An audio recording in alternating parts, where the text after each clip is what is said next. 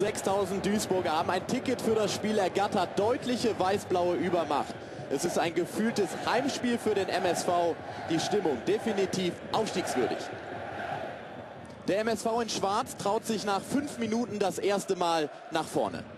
Janic, Erat, Ilyutschenko zurück nach Gelbsperre, wird nicht unter Druck gesetzt und da kommt wieder Janic. Uaferro klärt gerade noch rechtzeitig die erste Chance für die Gäste.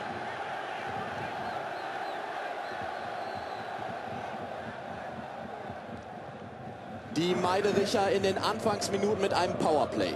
Köln steht tief, steht kompakt, der MSV daher mit vielen Flanken. Bohmeuer.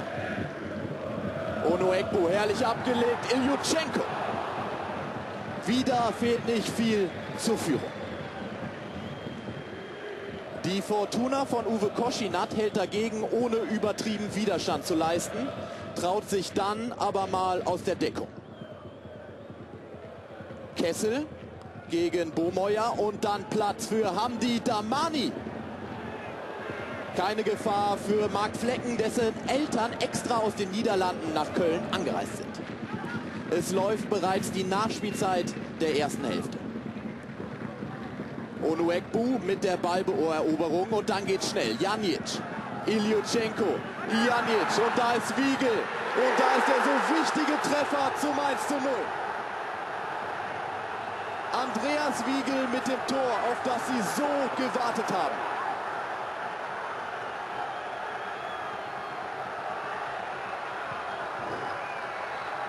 Das ist ganz toll gespielt. Wiegel nicht im Abseits. Die Fortuna überfordert mit dem Tempo-Fußball.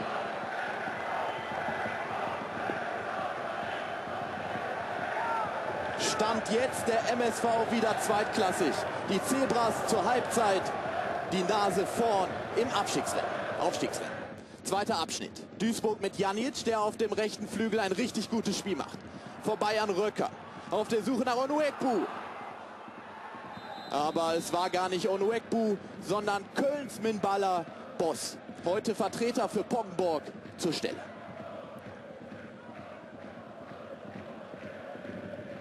Danach spielt nur noch die Mannschaft von Ilya Grujew.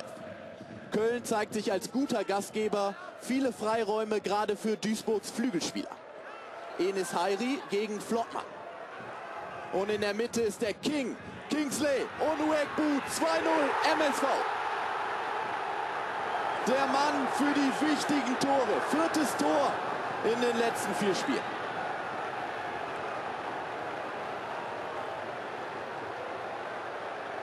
Onuekbu macht das unnachahmlich. Körper rein, Brust raus, Ball rein.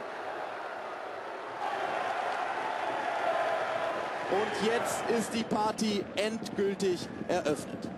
Es spielt nur noch der MSV. Schnellhardt. Und dann geht es wieder über links. Diesmal der eingewechselte Engi. Der hat sehr viel Platz. Engi. Fehler Pazurek. Und da ist Simon Brandstetter. Das 3 zu 0 kurz vor Schluss. Die endgültige Entscheidung. Und die ersten Fans wollen mitjubeln. Brandstetter nutzt den Fehler von Pazurek, aber große Analysen erübrigen sich, denn es ist nur das große Warten auf den Schlusspfiff.